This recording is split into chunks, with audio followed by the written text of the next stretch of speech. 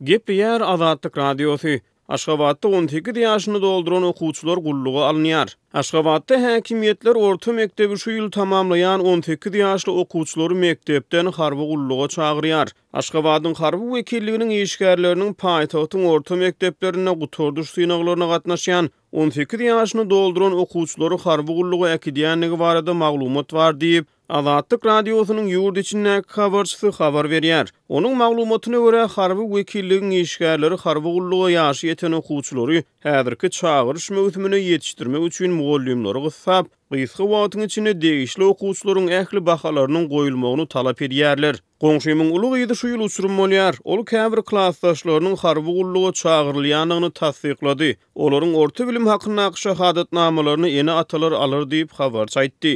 Ýedinji iýunda Türkmenistanyň orta bilim berýän mekdeplerinde gutardyş synaglary tamamlanýar. Türkmenistanda raýatlaryň çagyryş boýunça möhletli harby gullugy häzirki çagyryş ýigriminji martda yglan edildi. Ýurduň çagyryş boýunça harby gullugy geçmäge degişli raýatlary aprel-iýun aralygynda goşun gullugyna alnar. Soňky birnäçe aýyň dowamynda Türkmenistanda häkimiýetler raýatlary goşun gullugyna çekmek çärelerini uçdan tutma güýçlendirdiler. Türkmenistanda harby gulluga ýarawly on sekiz, ýigrimi ýedi ýaş aralygyndaky erkek raýatlar goşuna çagyrylýar. Ýurtda hereket edýän kanunçylyk ýokary okuw jaýynda bilim alýan raýatlaryň çagyryş möhletini yza süýşürmäge hukuk berýär.